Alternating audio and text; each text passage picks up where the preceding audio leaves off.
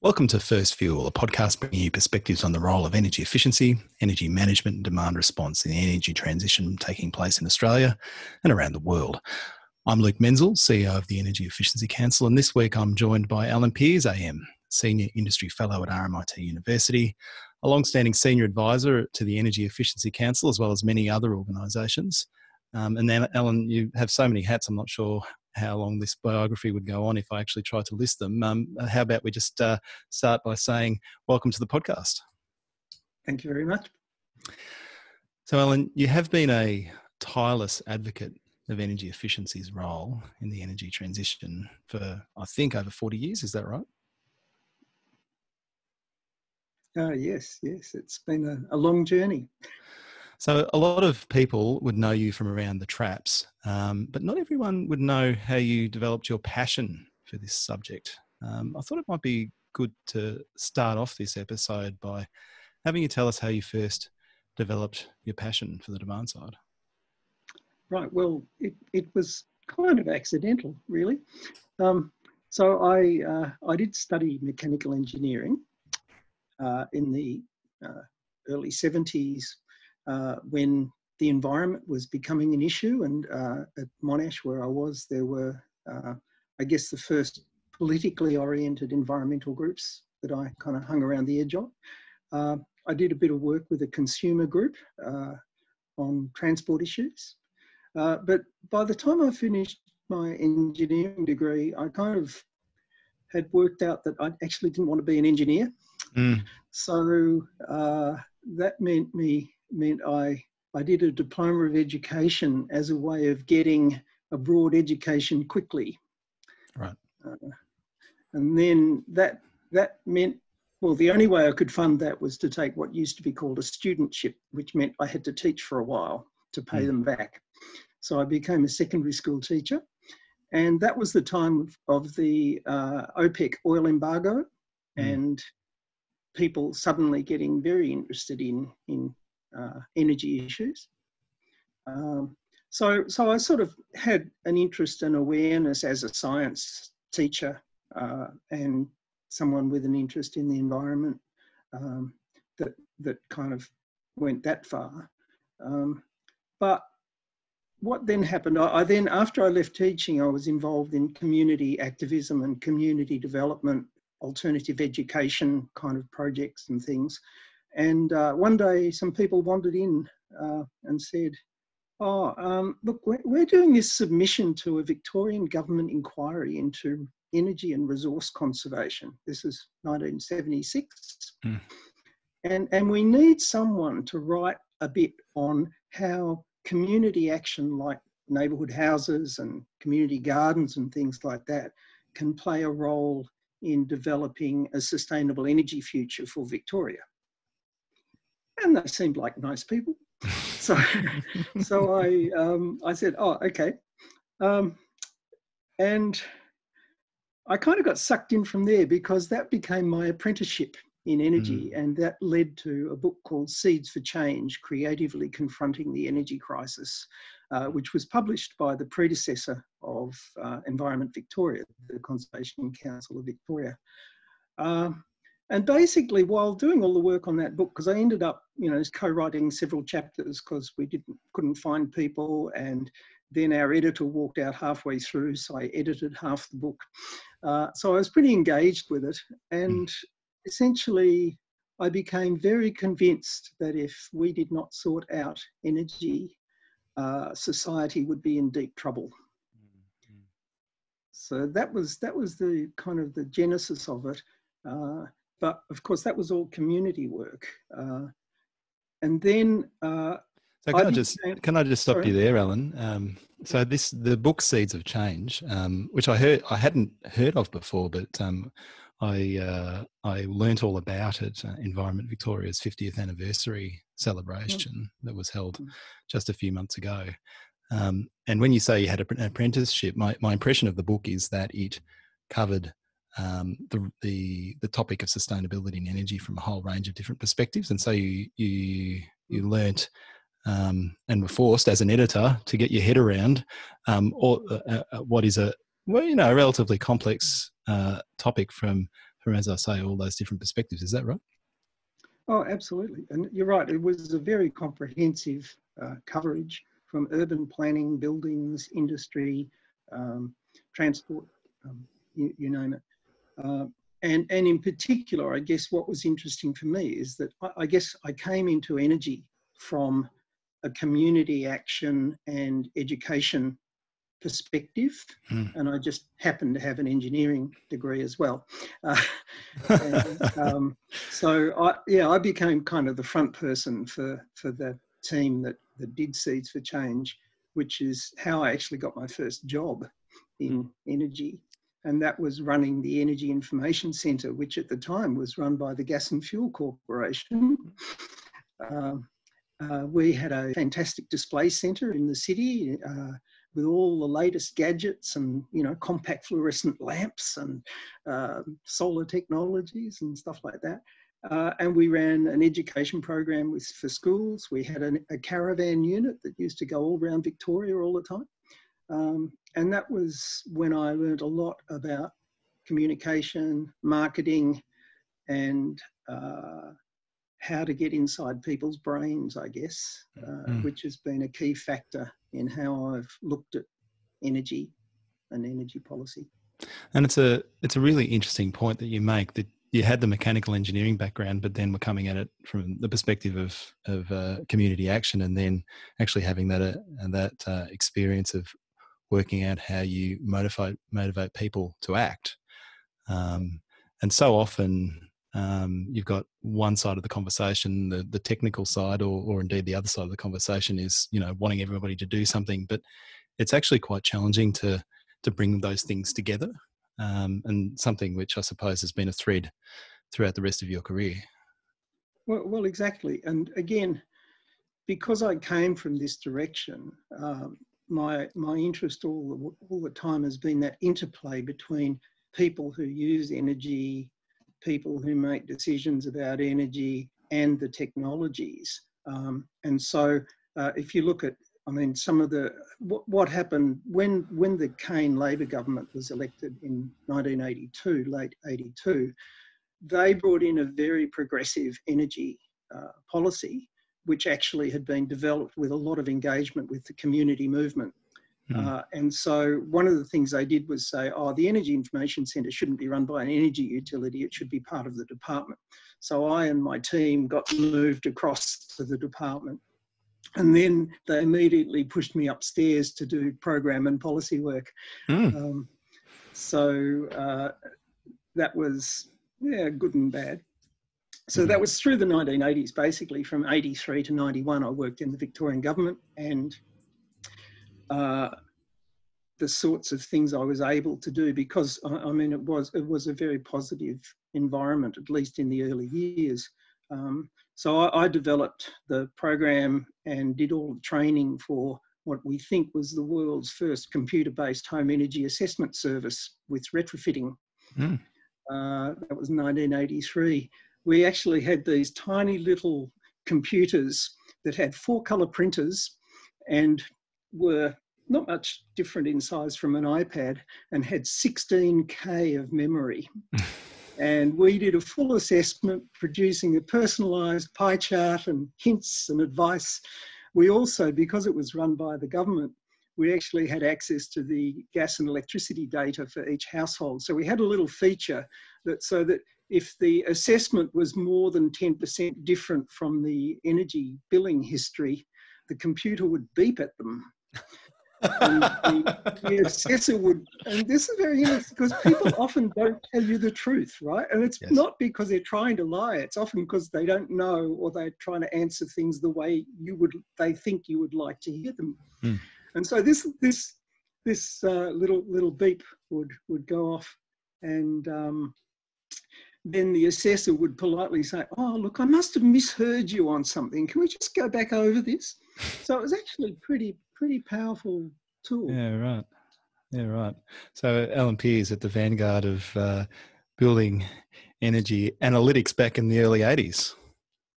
Yep. and of course, the, the thing I went on to next from there was appliance energy labeling. Mm.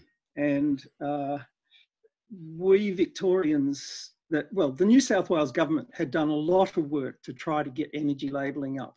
Uh, it had originally been energy policy uh, in New South Wales in 1979. So they'd been doing a lot of work trying to get national processes and all sorts of things like that. Uh, and we kind of came in late and said, oh, we need a promotional label, uh, which is my kind of background. And uh, there was actually quite a bizarre thing because we, we sent a pr proposal around that used uh, a gas efficiency label, which the gas industry had voluntarily introduced in Victoria uh, as an example of a promotional label. Uh, the State Electricity Commission's CEO, I believe, was on the phone very quickly to our minister saying, look, you know, we've opposed appliance labelling for a long time because we think it's the beginning of the death spiral for the electricity industry. Um, but look, uh, we're, we're prepared to work with the government on one condition, and the condition is that the label looks nothing like the gas label. Mm. Uh, which again highlights the dynamics of the competitive market, I guess. Um, mm. So anyway, so then you know we had to find a different way of communicating uh, efficiency and the star rating, which of course was stolen from the hotel industry, uh, was market researched and was really, really successful. Um, so we sort of went from there. So that was, you know, that was quite, that was illuminating. And coming back to your point about my combination of the sort of education, communication, engagement, and, and energy, uh, I was in a very good position because I could talk with all of the engineers from the appliance industry. Yep. And find out what they thought and why they thought them it. And then I could have that dialogue, and then I would be the one who went in and negotiated with the industry guys. And I knew a lot more about their appliances than they did because they were all the managers. Uh, so yeah, it's it's been interesting to be in this kind of funny cross cultural space. It's being able to speak those different languages. It's almost being bi or trilingual, isn't it, Alan? Because you there is that conversation that we we need to have with um, public servants and bureaucrats and and and uh, ministers and and secretaries and the people that are making decisions, and they're not they don't necessarily have a technical background. Um, hmm. and then there's, as you say, the conversation invariably you have to have with industry, which does. Um, and you've got to find the the common ground in the Venn diagram where, where everybody can come to, uh, particularly when we, when you're making policy, come to a point where there's a broad consensus around a pathway forward. It may not be that everybody's thrilled with every aspect, but that there's there's there's agreement that uh, that uh, this is overall going to be a net benefit for society, um, and that really requires that that uh, ability to speak those different languages to to to get everybody to that common ground. Yeah, I, I think that the key thing again, and this is something that that is really important all the time, is to find out whose opinion people trust. Mm. And to be able to make sure that, that those trusted networks are sending the right messages. And in fact, a good example in the technology dimension uh, in appliance efficiency was that um, the general view among appliance manufacturing engineers was that you couldn't make fridges much more than 15% more efficient than they already were. And we were trying to get a label up that to get, you know, five or six stars, you would have to get 50% savings. So we had some quite interesting technical dialogue uh, and, and won the engineers over. So the engineers, instead of saying to the managers, look, what they're saying is mad, it's impossible, yep. they said, oh, well, yeah, if you gave us enough resources, we could do something. mm-hmm. so, and were you taking guidance from sort of jurisdictions like California that had been early movers on things like appliance standards? Were you aware of that and kind of st- trying to implement that in an Australian context? Uh, yes, in the sense that I, I, think that the New South Wales government people probably came up with the idea of energy labelling based on what had happened in the US and Canada in the 70s. Yeah. Because if you go back to the oil embargo of the 70s, uh, a lot of the electricity was generated using oil in the US. And also they were using oil for home heating and things like that. So, an oil crisis in the 1970s was essentially a, a total disaster across all forms of energy. Uh, so that's where you're right. The US, uh, particularly through Lawrence Berkeley Laboratories, which is based in California, and the Californian government under Jerry Brown, who came back recently for another great round. story. It's a Uh, great story. That you know they they did a lot of fantastic work, and we certainly relied on some of their work to to convince the engineers. So, Alan, was it from state government that you ended up at RMIT? Oh no, um, I, I actually left the Victorian government in 1991, uh, just after I'd managed to shepherd through the building energy regulations for Hmm. Victoria. Uh, and it was kind of interesting because, again, what you see is the interesting things in bureaucracies where, in fact, um, I was implementing government policy to bring in insulation regulations, but uh, the senior management in the industry department opposed it. Mm, So I was in a very uncomfortable space for quite a while as I delivered government policy. And uh, I stayed long enough to get it locked in so they couldn't withdraw it. And then uh, left government and set up a little uh, consulting business with a friend of mine, uh, Bro Sheffield Brotherton, who at the time was vice president of the Australian Conservation Foundation and had worked in the Yeah. energy department in Victoria for a while. Um, and so Su- Sustainable Solutions was our, was our business from 1991 until just a few years ago. And we basically worked out of our dining rooms with our $5,000 laptops and a fax machine and a phone answering machine. Uh, and uh, worked on a lot of amazing projects uh, on Mhm. energy and climate action from the early 90s onwards. And then RMIT, um, essentially around the year 2000 was my climate trauma, where I'd kind of decided that that was when we would really know the science was in. Uh, Yep. And so it was like, oh, we're going to need more people if we win. Mm, Um, mm. So uh, I did have some contacts at RMIT, and so I started teaching there part time and also working with their Centre for Design, uh, which was a cross cultural design. Um, and yeah, so I taught there for uh, 15 years part time, but I made sure that I only stayed part time um, because the academic culture is a pretty uh, challenging one. Uh, and also, there were lots of consulting things and unpaid projects I wanted to do as well. So I, I was working on, for instance, during that period, energy efficiency opportunities and the energy uh, energy efficiency best practice programs. I was doing work with SEDA, the Sustainable Energy Development Authority in New South Wales. Um, so I, I, was, in fact, I, I think I was much more useful to the students really because I could tell them what was really going on and uh, give them a lot of up-to-date sort of perspectives. Also, I consciously chose to teach in the social science environment program, not engineering or science, because uh, my view is that the real shortage we have is actually in the soft side of driving change rather than mm. the technology side. Mm.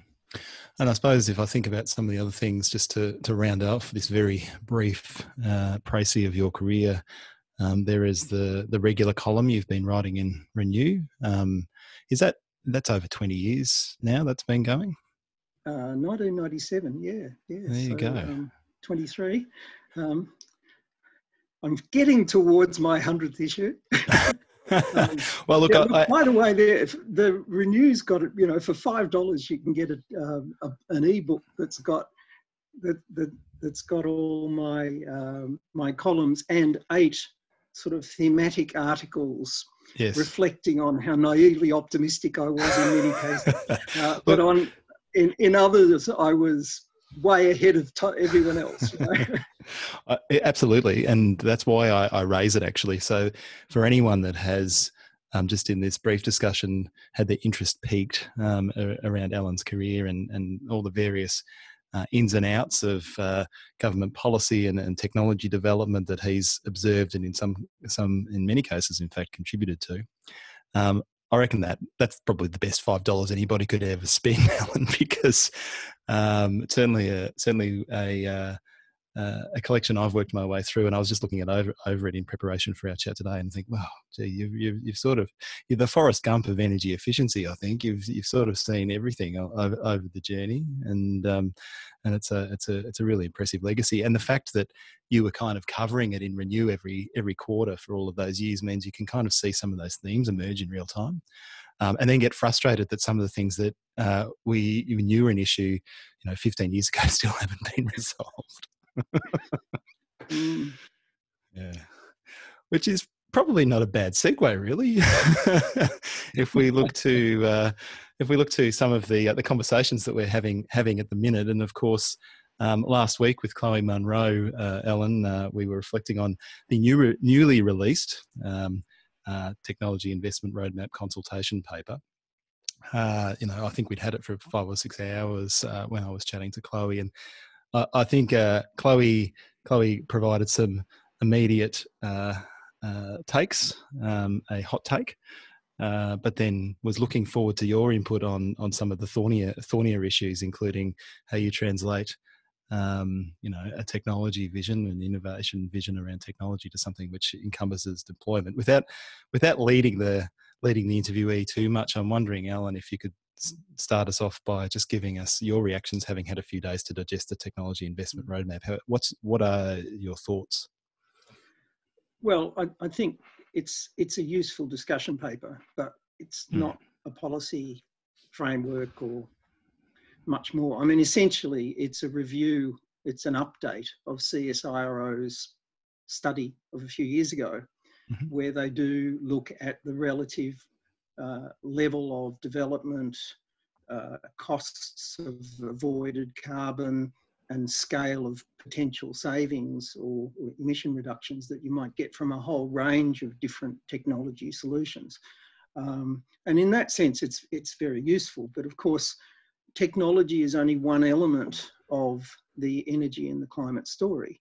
Um, I, you know, I keep saying to everyone, look, people don't want energy, you know, and they actually don't want technology either you know, like yep.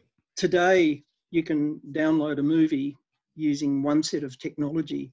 What you used to have to do was hop in another piece of technology called your car and drive up to the video store and you know hire a DVD or a video and then come home and play in another piece of technology and so on. Like the, the reality is no one really wants particular technologies. They are trying to look for services and so that's one reason why I do focus so much on, on the consumer and the dimension of, of the markets in the retail space and the fact that there are many markets at work and forces at work outside the energy sector that are driving the demand for energy.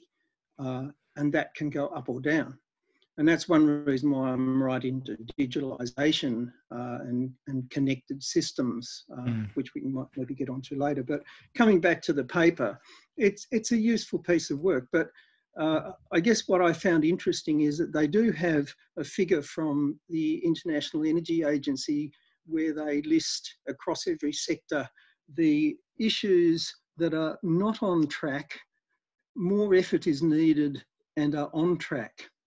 And, yes, uh, yes, yes. I love that one as well. interesting. Lay it on us, uh, Most, a lot of the non, not on track and more effort needed ones happen to be energy efficiency measures. Yes, that's uh, right.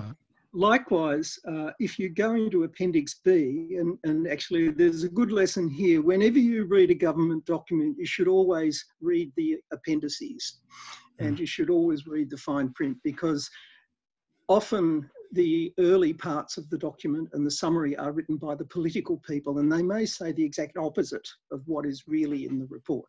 So you need to keep that in mind. So in that case, uh, you know, in, in Appendix B, they've got sector by sector, the, yep. all the analyses of a lot of the technologies.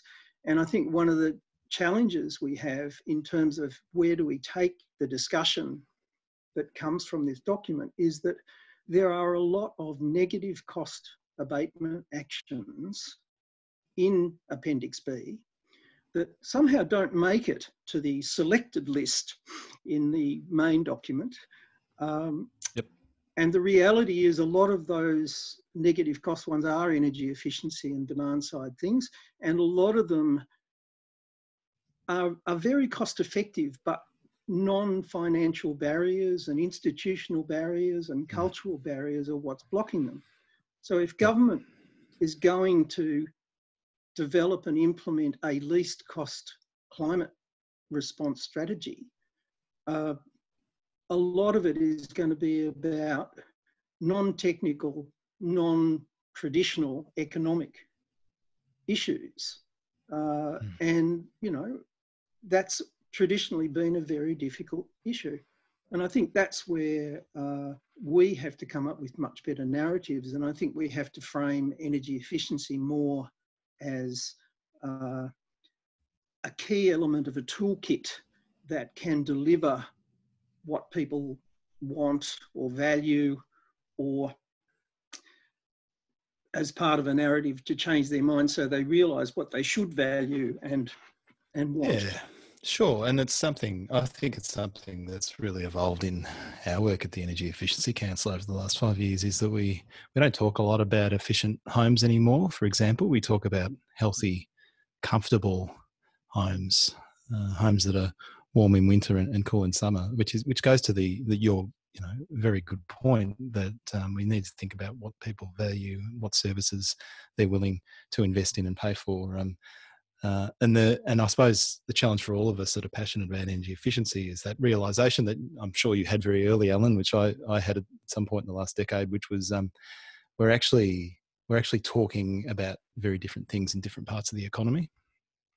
So energy efficiency as a meta narrative works for uh, uh, you know a, a government department and, and if you're a technical expert in the space, then you kind of get you know how that principle plays out in different contexts. But if you're a consumer, whether you're a, a business or a household, energy efficiency doesn't really mean anything. Um, it's talking about what a, a, a, prudent approach to managing your energy use um, uh, can deliver for you on a day-to-day basis, whether that's uh, uh productivity or or amenity or or whatever it is.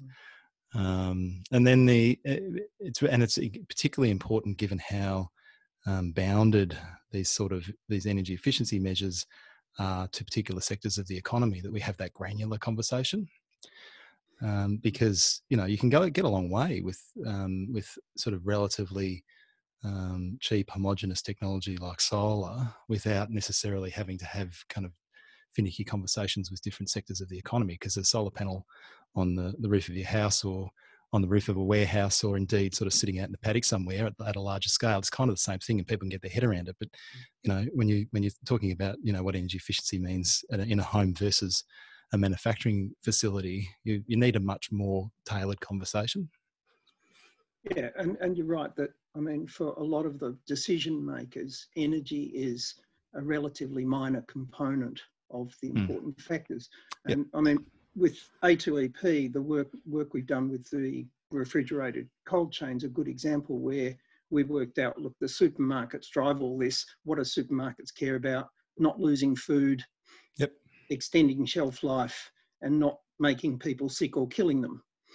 Yep. You know, that's pretty much it. And now the point is that once we started talking about that, that is worth you know 20 times as much as the energy costs, and also uh, we can then say, well, actually, the way we can help you is we will use all of these technologies and uh, techniques to identify poor practices and all of these things. Oh, and you know, look, we'll save you all this money on wasted food and improve your business productivity. And oh, and look, you'll save a few hundred million on energy as well. Um, yep. And that that worked pretty well. Um, I think going back to your point about about the diversity of all of this of energy efficiency, um, that in 2010 the Rudd government commissioned a task group on energy efficiency, yep. uh, and in that report there is a flowchart of the governance structures driving energy efficiency in Australia, and you would have to describe it as a brilliant spaghetti diagram. And when you look at that, what you see is that a lot of the people who are involved in decision making about energy efficiency have no interest in it whatsoever and may have very different agendas and priorities. And so, I mean, one of the problems we face with energy efficiency is we do not have a focal point uh, that is powerful and well enough resourced and run by people who know what they're talking about in the same way as, as most other areas of policy have within you know the institutional structures um, and that that is a really serious failure uh, in in terms of uh, well institutional design mm. and look it goes to your experience um, uh, back in the 80s and 90s about you know departments working at cross purposes and even last week with chloe munro she was harkening back to her days as a as a secretary in a Victorian department in the yeah. 90s and saying that they were discussing exactly the same things and she was expressing a certain amount of uh, of disappointment that we were still having the same conversation but it, it is absolutely true um, we do have different parts of government working in in different directions and we see um, for example the interaction between the COAG Energy Council that are thinking about buildings as a, a, a en masse um, and their impact on the, the grid over time um, um, versus uh, the Building Ministers Forum, which is thinking about you know the particular implications of certain policy settings for uh, a set of stakeholders that are very focused really on the on on construction of new new build. Um, and those two don't those two things don't necessarily match up very well. And um, it sort of it reminds me, you know, we mentioned California already, uh, Alan, and it, it sort of uh, always like to drop in a reference um, to the California Energy Commission and one of the innovations of that that uh, sort of forward-thinking governor, um, Jerry Jerry Brown, in how he shaped the role of that commission, you know, encompassing um, both um, uh, energy energy appliance standards and, and building standards, and also having the CEC having a clear role in thinking about the relative merit of of regulation around standards versus investment in supply side infrastructure because um, they're not they're parallel conversations, but they they shouldn't be. They they they're directly interrelated. Um, if you don't deal with some of those demand side regulatory issues, then you it's pretty straightforward. You're going to end up needing to build more generation assets. But but again, you need to think of it more in terms of not just regulatory, because I remember uh, was it Dian Grueneich from mm. California was out a few times some years back, talking about how they just changed the way energy retailers are rewarded Hmm. And basically, they would set a threshold, and if they went above that threshold in total sales, they would lose money. And if they went below it, they would get exponentially more money. Um, and you know that again, if you look at if you look at uh, the Victorian Energy Upgrade Scheme, the New South Wales Energy Savings Scheme, you know we can see retailer obligations work and can influence a market. It's just that the present ones are so unambitious that uh, you know we we're not making as much progress as we could. Hmm. So going back to your original point around the technology investment roadmap and and some of the the technologies that you know perhaps aren't giving, being given as much prominence as people that are passionate about the areas that you and I uh, might like. Um, there is a there's some interesting commentary that I've been reflecting on as I've sort of gone through the the roadmap in more detail around um, low cost technologies or negative cost technologies and um, the the lack of deployment of those technologies, even where they're commercially available in the Australian market. And I can't remember the exact phrase, phrase Alan, but I think they said more analysis is needed to work out exactly why that might be. I'd well, like you to comment on that, Alan. yeah, yeah. Well, we, we do know why a lot of these things are not being adopted, um, and a lot of it is just simply no budget, mm. uh, let alone lack of senior leadership, both within you know public sector organisations, the energy sector, let alone politics.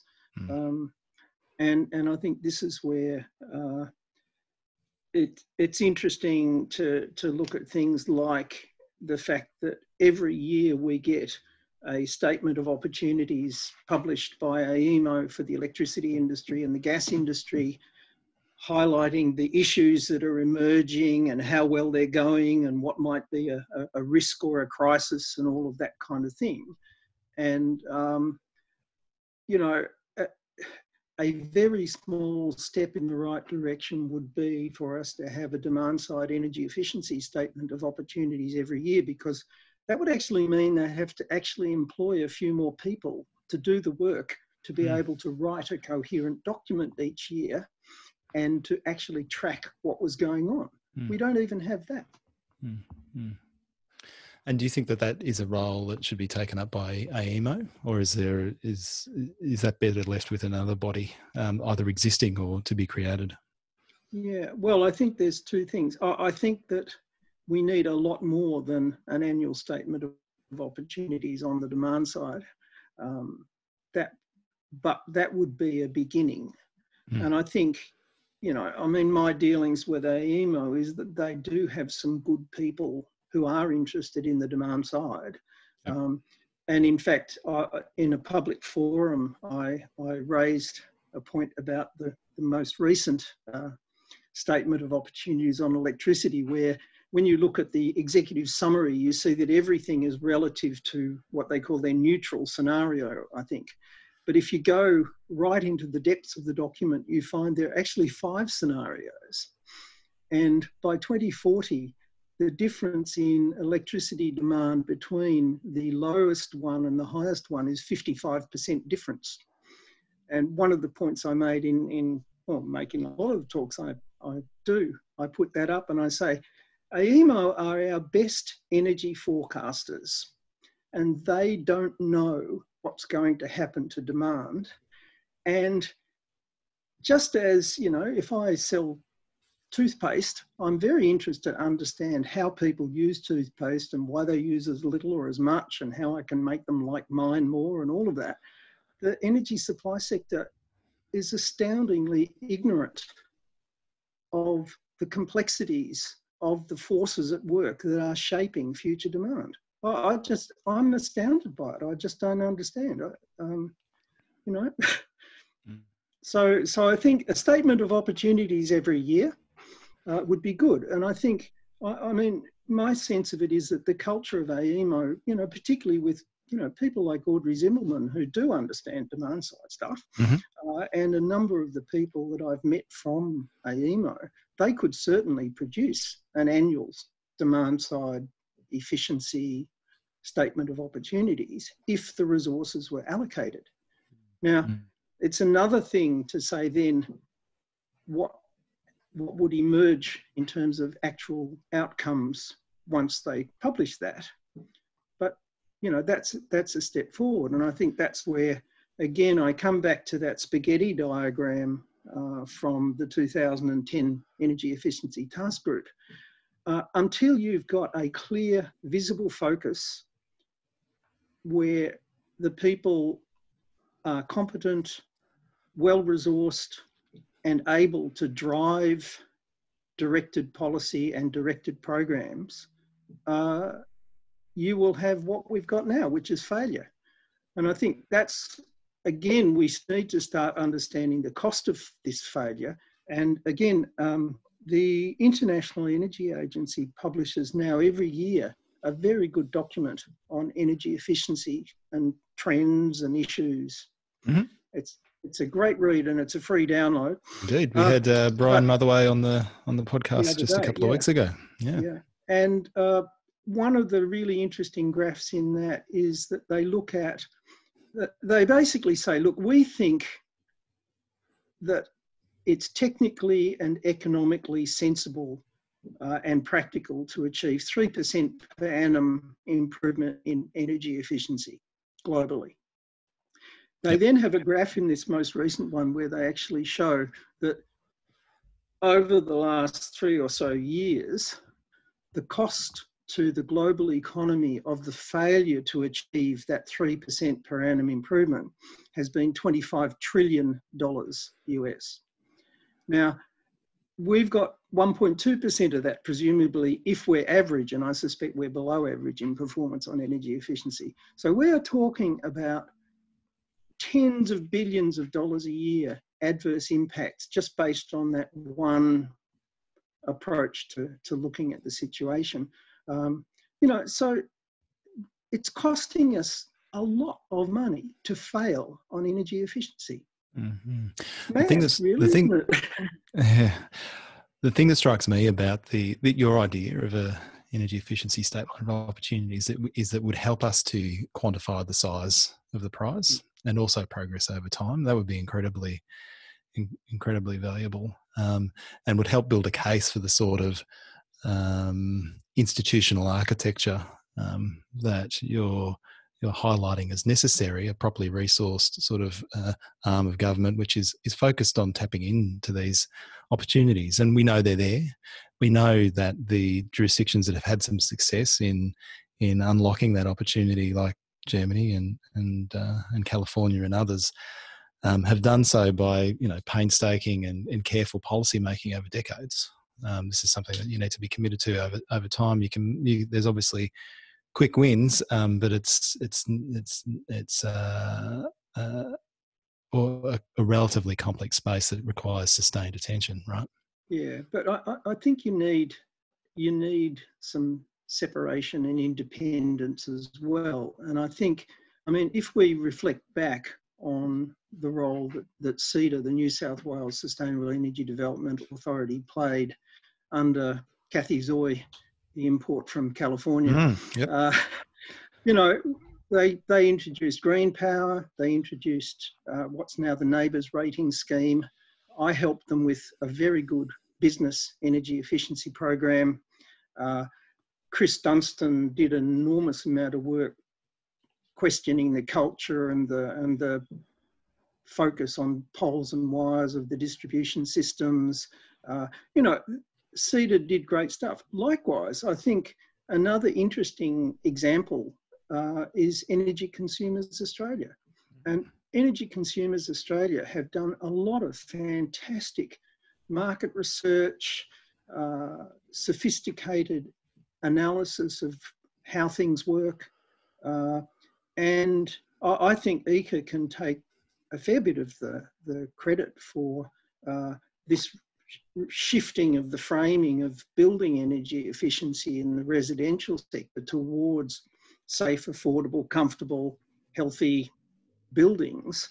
Uh, I mean, they ran uh, a one day summit nearly two years ago. And the communique that came out of that hardly mentioned energy efficiency, but that's really what it was all about.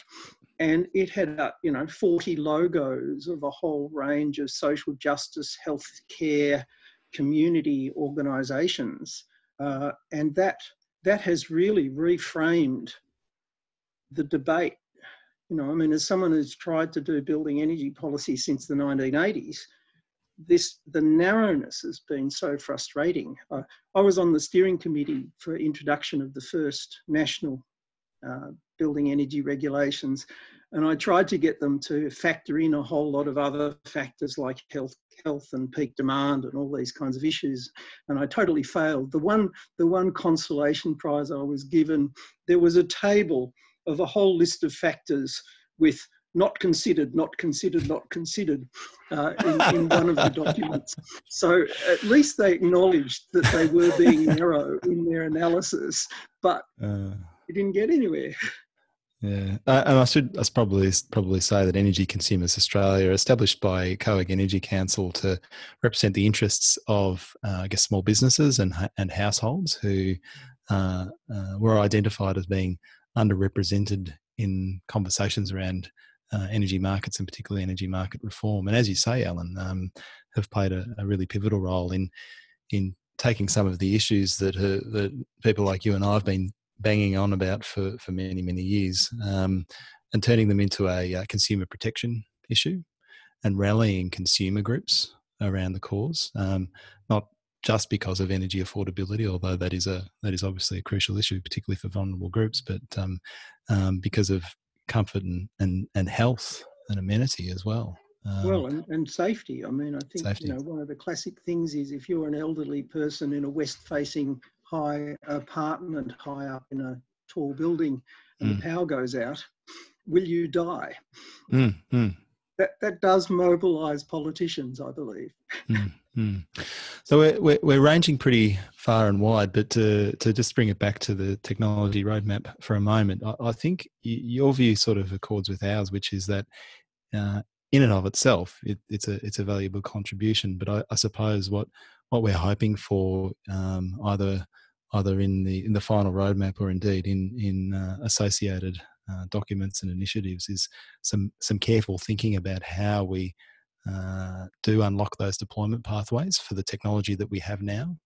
Um, it strikes me that the the paper has a, a understandable focus on the medium and long term technology that we're going to need to decarbonize, um, which is where a lot of the exciting technological innovation is going to happen. Um, but the reality is that, that we have a, a, whole bunch of technology, particularly when it comes to electrification in the building space, which we need to start really deploying at scale right now. And that is what, um, in my view at least, Alan, uh, is going to give us the headroom we need so that we can really work through some of the some of the bigger challenges we have in harder to abate sectors. Yeah, I mean, I, I, I think that I, I disagree with you a bit about having all the technology. I mean, we have we basically have lots of the technologies and things like that, but there's lots more to be done. I mean, you know, I've actually invested quite a lot of my spare time over the last year or so modifying a benchtop oven so that it's super efficient and then discovering that because it heats up in five minutes instead of half an hour, I've had to change all my cooking times. And uh, there are a whole lot of issues that have emerged that I didn't know about. um, uh, so I, I, think I think we need to focus much more. And again, I, am doing work with some councils at the moment on heat pumps for aquatic centres. Yep. We have lots of engineers who don't understand how heat pumps work. And we have unresolved debates within the air conditioning and refrigeration industries about which refrigerants are best under what circumstances. And there's, there's plenty of work to be done with a lot of so-called mature technologies.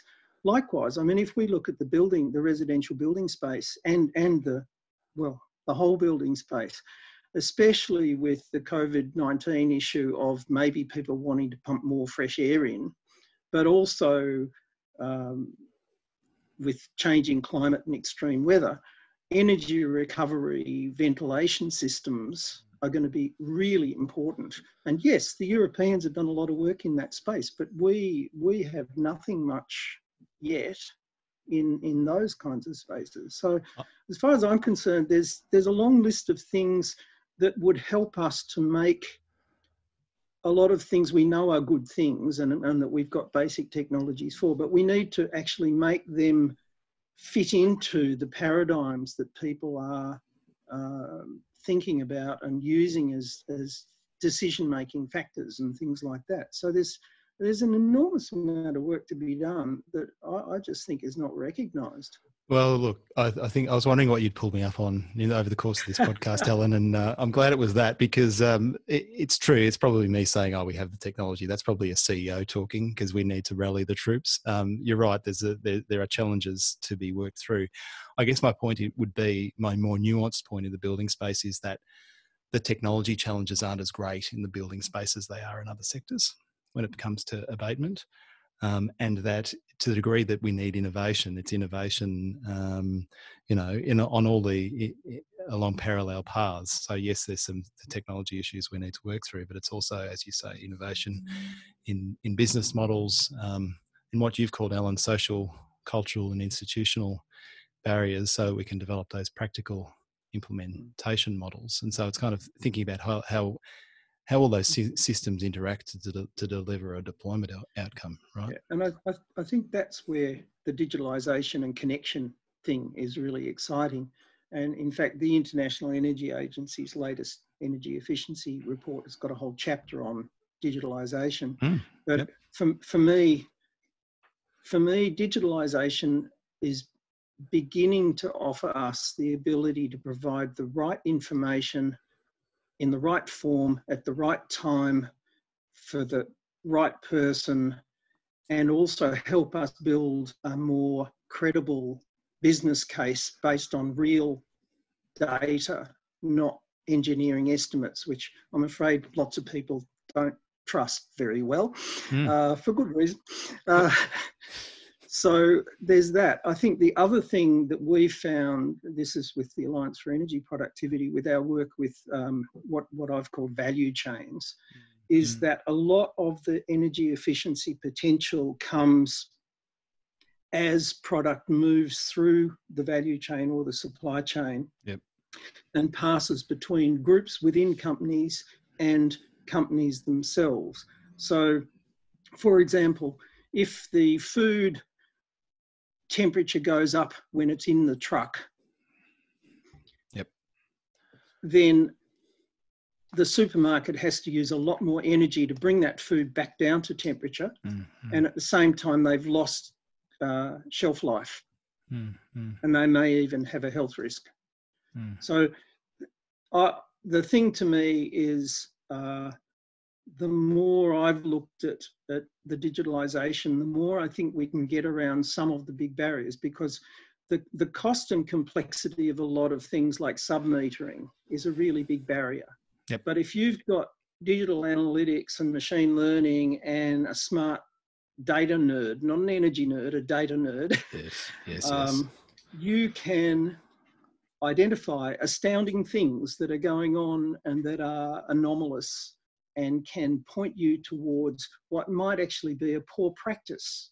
Yes. Or a faulty appliance. Yes. Or someone not having understood the complexity of the feedback systems and interactions within a technological system. And we should um uh, we should link to some. What I'm counting on. Sorry. Um, I was just going to say uh, we should link to some of those very good reports that you and, and Jon Jutsen and, and Chris Dunstan and others over the, the uh, Alliance for Energy Productivity have produced over the last um, over the last few years um, because they do go to that point of it.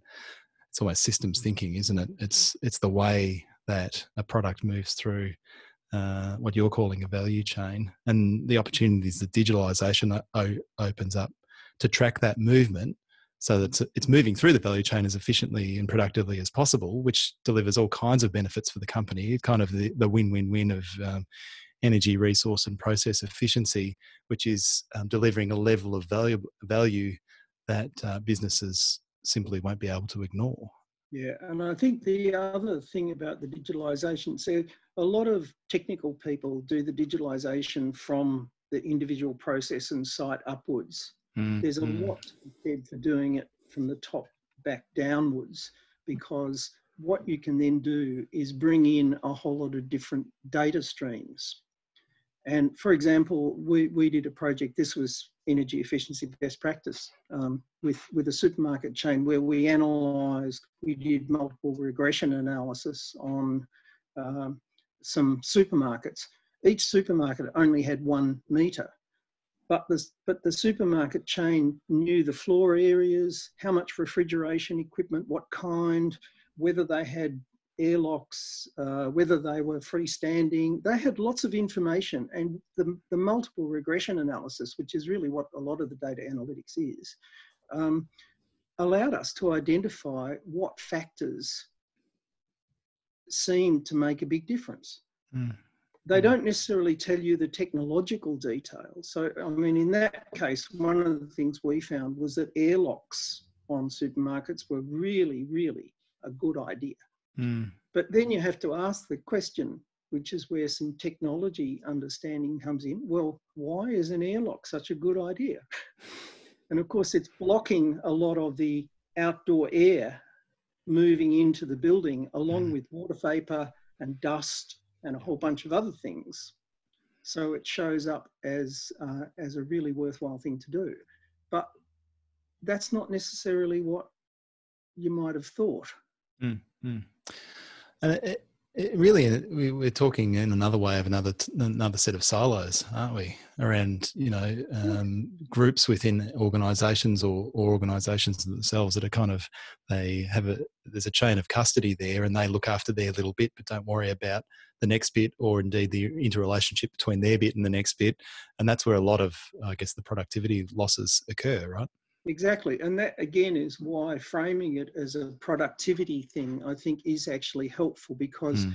when you talk about energy efficiency, everyone sort of says, oh, I might save some money on energy. Oh, that might be half a percent of my business costs.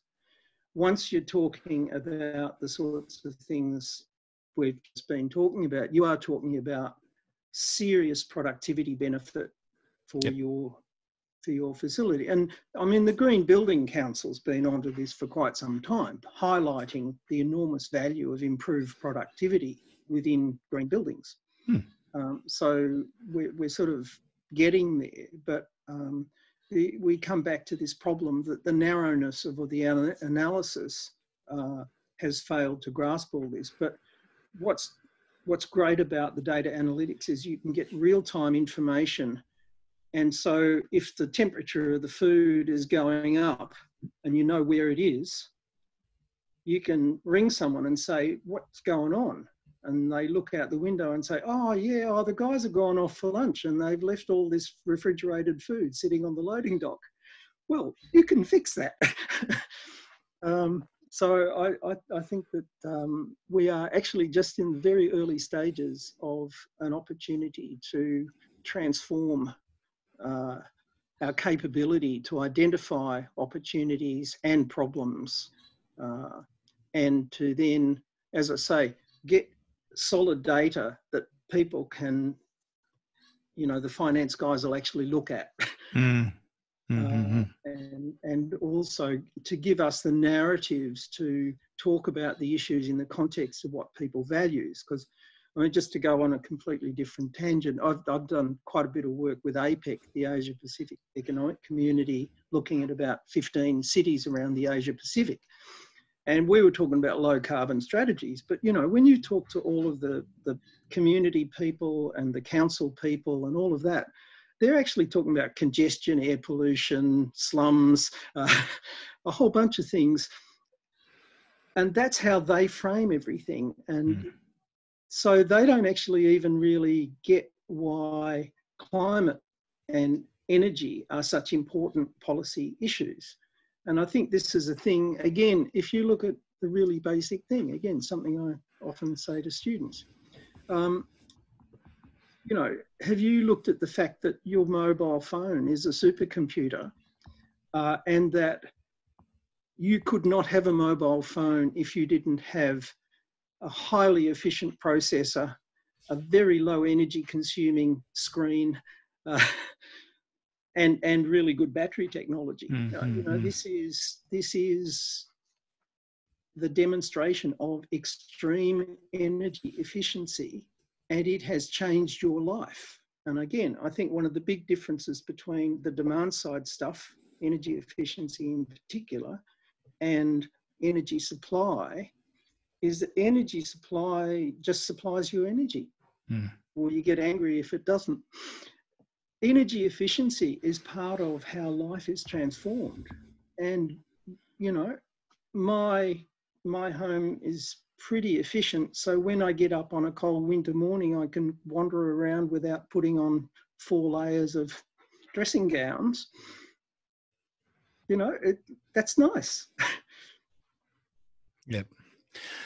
So, I guess final thought. Um, we've we've traversed and I think built a reasonable case, uh, Alan, that um, sort of looking at these things technology by technology, or, uh, and only looking at um, I guess the cost of the technology and assuming when it gets to be cost effective, it's going to be deployed, is probably uh, not a holistic enough view of how, how change happens. Um, there is this reference in the in the technology roadmap um, around defining these stretch goals, um, and I think for for hydrogen they're talking about getting hydrogen down to under two dollars a kilogram, and defining a whole range of other stretch goals for other technologies. Um, a question without notice. Um, do you think for demand side technologies, there are a set of stretch goals that could usefully be defined that we could be working for? So, acknowledging that they, we need to have a more holistic conversation around deployment, um, is that idea around a, a cost goal for, for particular demand side technologies um, useful in, in any way, shape, or form? Well, I, I don't know that we need a cost goal because we've got so much that's cost effective already. Mm, I, mm. I, think what we need to do is say um, energy consumption in Australia must decline at at 3% per annum according to the International Energy Agency best advice. Yep. And if we don't, then those who don't do so well might have to be charged some more, and those who do better than they're expected get a reward, which mm. is hmm. exactly what uh, Angus Taylor's talking about with the safeguard mechanism at the moment. It's yep. just a question of, you know, broader application, uh, applying it to the energy retailers as well as a whole lot of other people. Mm. Mm. Pretty simple, really you know, and look, this is the thing. This is all about priorities, isn't it? Look, yeah. if our society thinks something's important enough, we work out ways of delivering it. The reality is they haven't thought that energy efficiency is important enough, so they have not bothered to drive the institutional structures, the, the signals, uh, or the technologies. That's how it is. And I suppose it's incumbent upon us, Alan, to acknowledge the very good work that has occurred in Australia.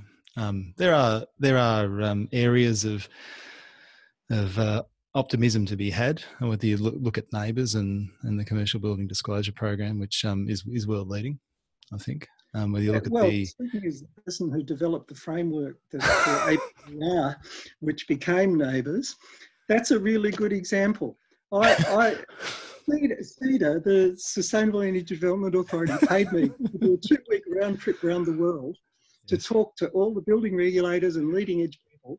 And I came back with the basic message being there's this enormous gap between the hmm. design intent and the delivered performance. And so then we decided, well, okay, let's come up with a simple rating scheme that the CEO, who's three years into a five year fixed contract, will be able to understand, star rating, and uh, give them a way of achieving useful improvements during their contract period so they can use it to get more money later. Uh, and it's based on real performance. And it's, it's, it's astounding how few places have picked up on rating of buildings or anything else on real performance. Mm, mm. Uh, it's amazingly effective. Well, look, you've uh, given me a, a topic for a, a, future podcast, which is to get you and Paul Bannister on to uh, to tell me the, the history of uh, of well, and its predecessors. Paul, Paul, did all the hard detail work. overview structure. Uh, well, I look forward to that.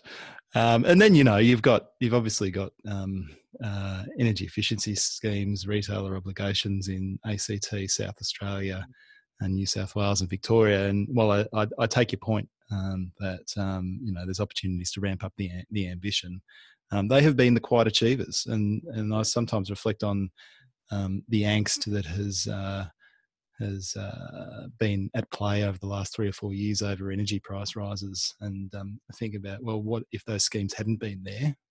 And hadn't been driving, you know, sensible energy efficiency upgrades over the period, how much yeah. how much more troubling would those those price spikes in the latter part of last decade have been?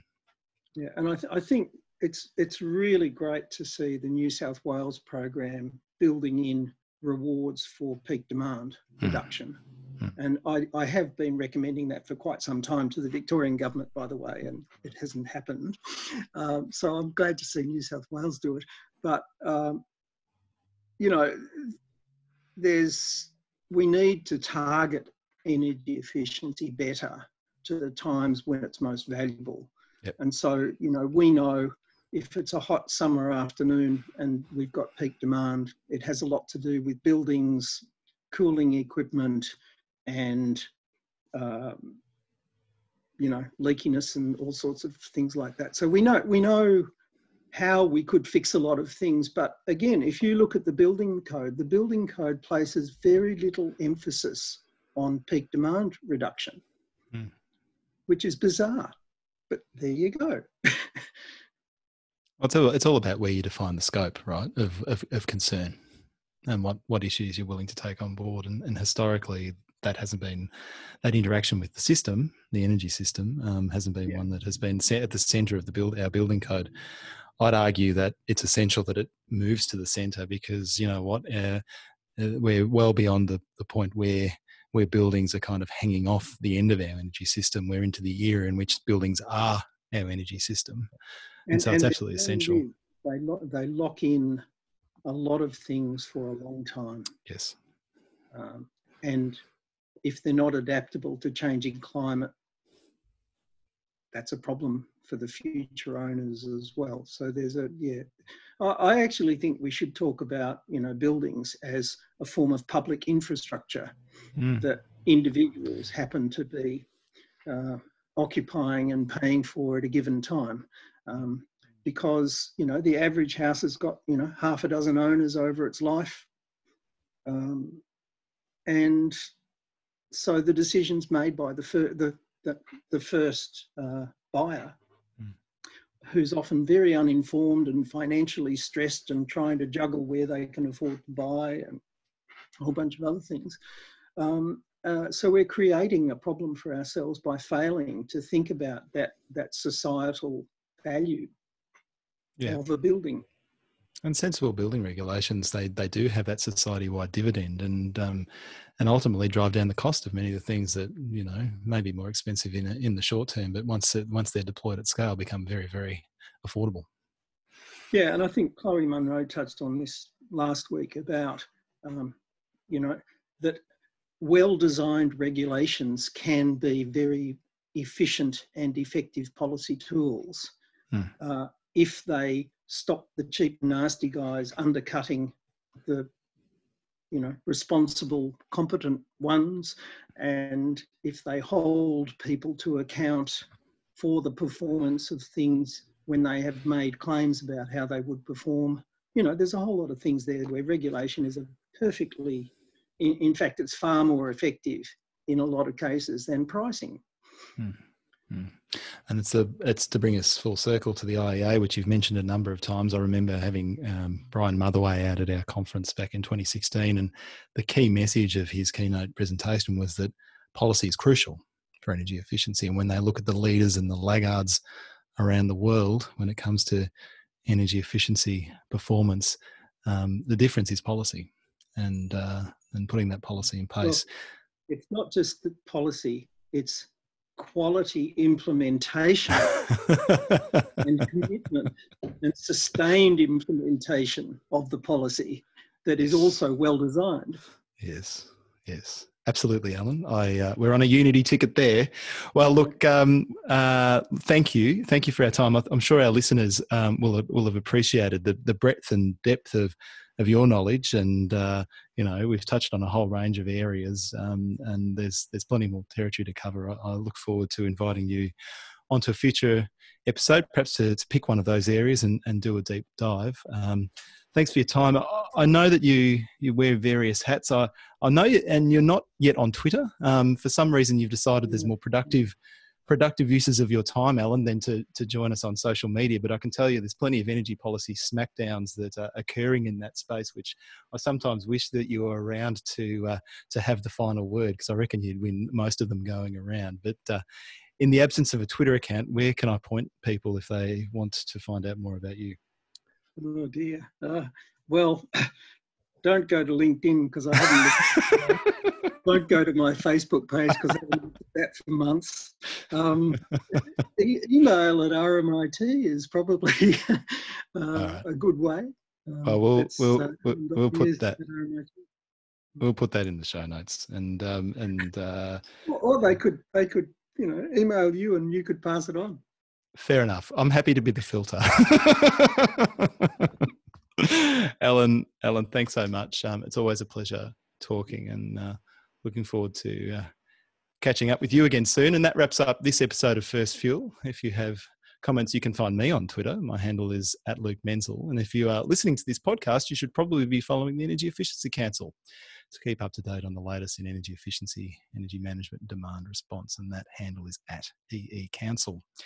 If Twitter is not your thing, you can find us on LinkedIn at eec.org.au, um, or you can email us.